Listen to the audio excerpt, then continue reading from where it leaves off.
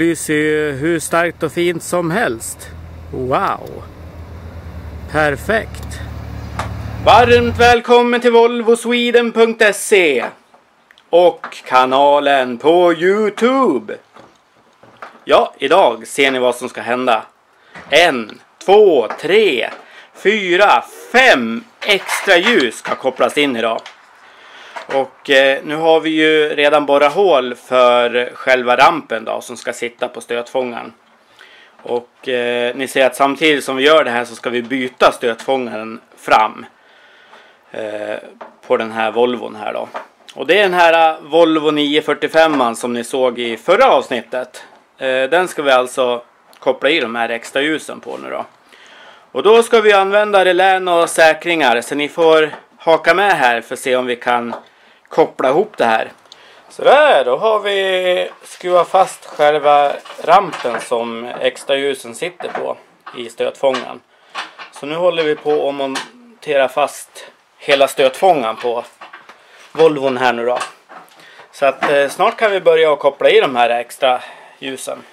Ja, då kör vi! Då är vi framme vid det roliga momentet. Då ska vi koppla ihop det här. Och eh, vi behöver veta vilken slags säkring vi ska ha. Vi behöver veta vilken slags relä vi ska köra. Vi behöver veta tjockleken på kablar. Allt det här har jag lagt i en länk nere i beskrivningen. Och där har du också kompletterande bilder till just den här guiden. Eh, om du behöver ha. Men eh, idag tänkte jag de här extra ljusen. De är på 55 watt styck. Så att de här två kopplar vi ihop med ett eget relä och en egen säkring som sagt. Och de här tre, de tar vi på ett annat relä och en säkring. Och de här ska ju liksom kopplas ihop med varandra. Så att, men som sagt, mer information om detta finns i tråden. Nu kör vi! Ja, de här extra ljusen här nu då, de vill vi ju att de ska ju kunna gå på en egen knapp. Alltså vi vill inte ha igång extra ljusen hela tiden i bakgrunden utan man måste hela tiden användas utan en av och på-knapp. För att de här ska liksom fungera. Det är ju mera säkert också att ha dem på det viset. Då ser ni på knappens baksida här så är det ju massa symboler. Det är ju en plus och det är nummer 31 på ett stift där. Och sen har vi en symbol som det står S på. Bokstaven S. Och det är då den här strömkabeln som går till bilens original helljus. Det är den vi ska koppla till det här plustecknet på knappen. Okej, okay, då är vi framme vid första steget här och då passar jag på och visar en litet schema här på hur vi ska koppla ihop det här. Och vi ska ju börja då med den här knappen tror jag vi börjar med.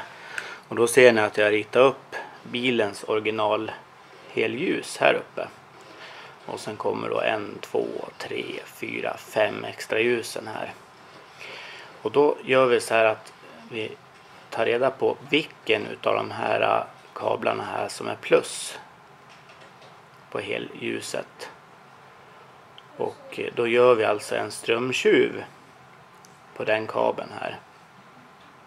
Och det är ju då den som, nu är det ju relän här, men de ritar jag inte med här. Men bara så att ni förstår att det är den här omväxlarens eh, funktion här. Och det är alltså plusset där vi är ute efter.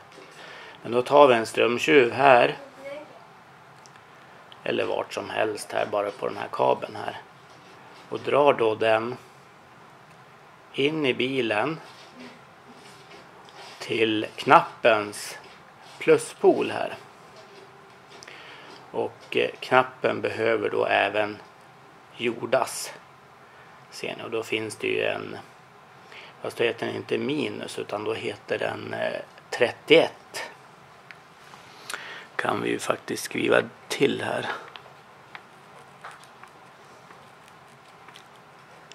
Trettioett här. 31 heter minus om man eh, letar efter symbolen här. Och eh, då har vi gjort färdigt så att knappen får ström. Då ska vi börja koppla in knappen här då. Då måste vi börja hitta en pluskabel som går till original eh, helljusen på bilen. Och det är den som vi ska då tjuva en, en plusanslutning till knappens plusanslutning här. Nu ska vi mäta upp så att vi får rätt kabel här. Nu ska vi se, vänta. Ja. Sätter vi en plus på den här vita här för jag tror att det är plus där. Och sen tar vi en på jorden vi kan ta. Så, ja kör. Och sen eh, slår du av till halvljus.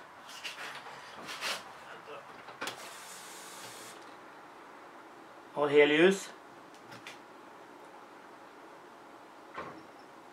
Ja, då har vi ju, då är den vita kabeln plus här.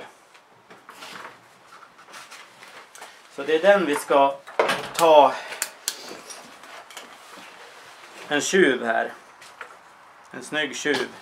Och koppla den direkt till plus på knappen. Inne i kupén.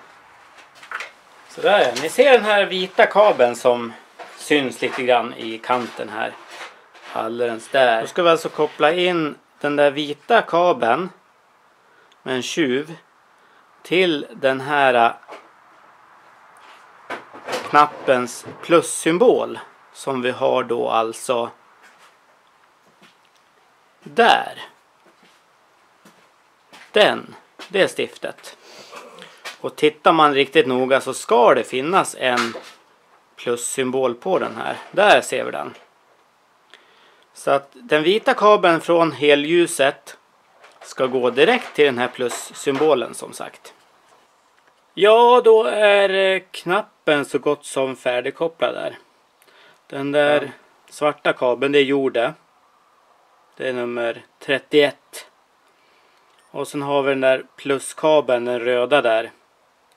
Och den går ju då från plus till helljuset är framme. Rödare än grön din färgblinda jävel. En grön. Mm, Okej, okay, grön då. Sen har vi då S där. Det är den som ska kopplas till relät. Nummer 86 på relät. Så det ska vi också ha en kabel. Ifrån knappen till relät. Det är det vi ska göra nu.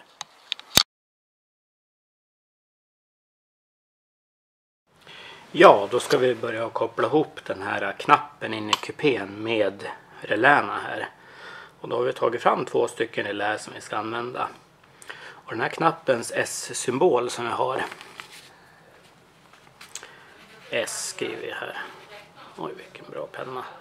S, knappens S-symbol till siffran 86 på reläna. Och då kan vi ju skarva då så att vi båda får 86 här. Och när vi ändå är i farten här så har vi siffran 85 på reläna här. Och det är själva jordplaceringen här då, att man måste jorda reläna här. Så det är de två grejerna vi ska starta med här. De står i alla fall på baksidan. Där ser vi att 85 här. 85 Det är där reläet ska jordas. Och det kan vi göra på en gång när vi ändå håller på här. Att eh, vi drar en kabel ifrån 85 direkt till jordplatsen. Eh, antingen minuspolen på batteriet eller en eh, jordplinten i hörnet till exempel. Den är bra. Här då håller vi på och kopplar från reläns, relänas nummer 86 här till knappens symbol S in i kupén. Det är det vi håller på med. Medan vi letar efter lite verktyg och grejer nu, för nu börjar det bli lite grejer överallt här. Så kan ni ju tumma upp klippet på en gång. Och sen, eh, om ni inte prenumererar sedan tidigare, så gör det nu. Så nu ska vi dra igenom den här kabeln genom kupén. Och det är också en sån här grej som eh, vi kan eh, jag kastar upp ett, ett klipp här. Där vi visar exakt vart någonstans du kan dra igenom kablar. Och alldeles där i hörnet här så finns det jättebra såna här gummi, gummivägar att ta för kabeln. Så att man bara kan klippa ett litet hål i. Det finns, jag tror det finns tre eller fyra såna här gummipluppar som du kan knipsa av så får du igenom kabeln lätt. Och då får du ut kabeln precis strax vid pedalerna ungefär där inne. Så nu har vi fått igenom kabeln till, eh, till knappen där. Och det är den som ska vara själva skiftaren till de här reläna. Är tanken att så fort du sätter på knappen och då blinkar med helljusarmen då kommer pulsen att komma till 86 på reläna här. Som då skiftar automatiskt till 87. Ut till extra ljusen. Så det är då tanken. Och som sagt jag kommer ju att lägga ner Eh, en länk direkt till den här eh, bildguiden som vi har på forumet. Där kommer jag förklara lite mer och visa kanske lite bättre bilder på hur det här är kopplat allting.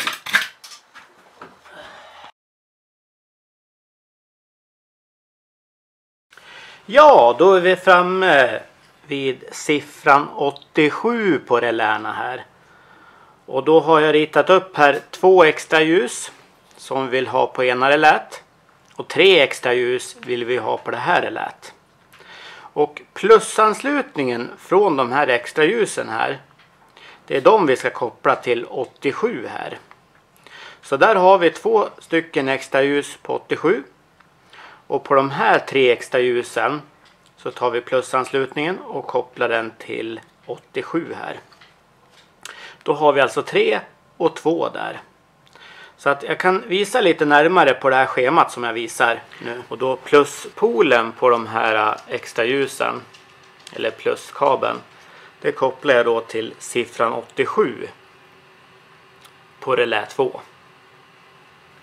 De här tre extra ljusen på ett eget relä. Det blir alltså två extra ljus på ett relä och tre på det andra. Eh, och då tar vi då pluspolen även på de här extra ljusen och kopplar det till relä 1, siffran 87. Och sen kan man då koppla de här minuskabeln på de här reläna till karossen. Om man vill så kan man ju dra den då till minuspolen här på batteriet.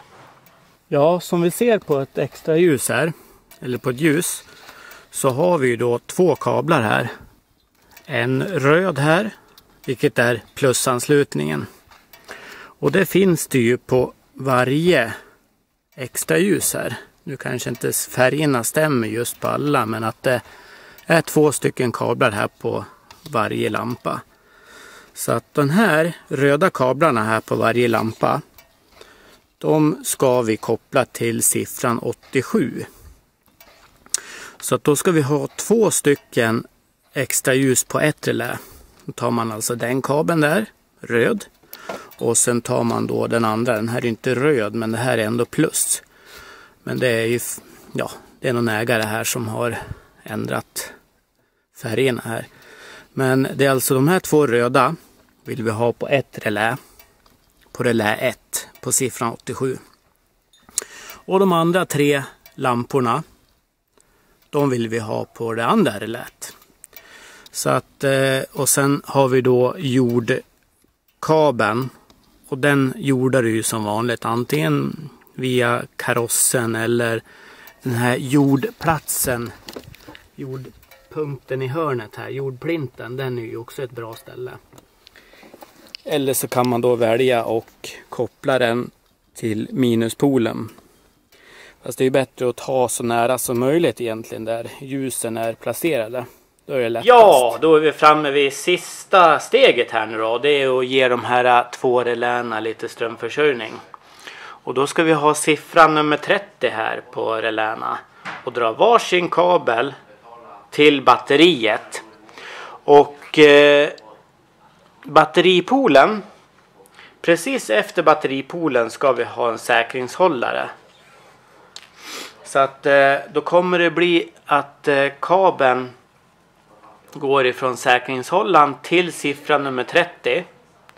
Och härifrån kommer då säkringen att gå till pluspolen. Så att eh, det är det vi ska göra nu. Och jag kommer visa lite grann här nere i klippet nu snart här. Och då ser ju en säkringshållare ut så här. Och den har vi laddat då med en 15 ampere. Och det kommer bli en till sån här till det andra relät.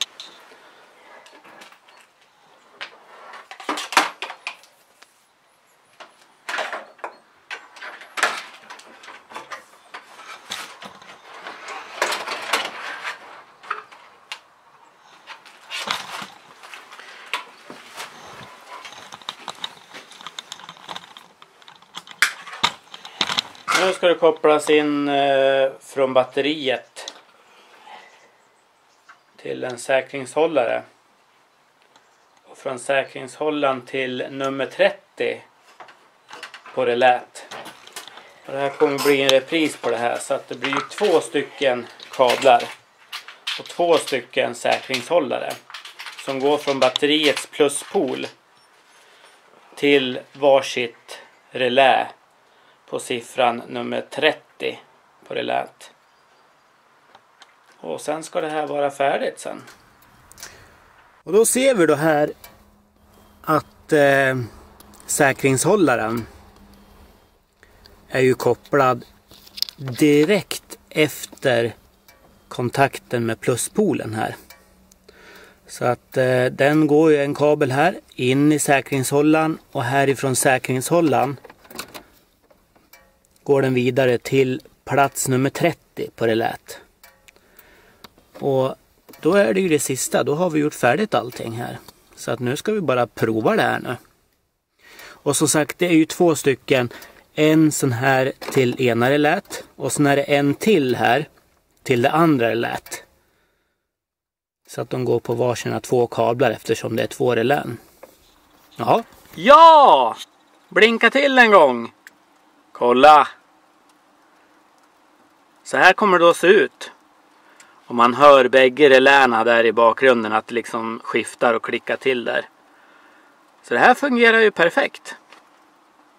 Ja, gilla gärna klippet. Släng gärna in en tumme upp. Och glöm inte prenumerera på kanalen så hörs vi i nästa video. Tack för oss. Hej!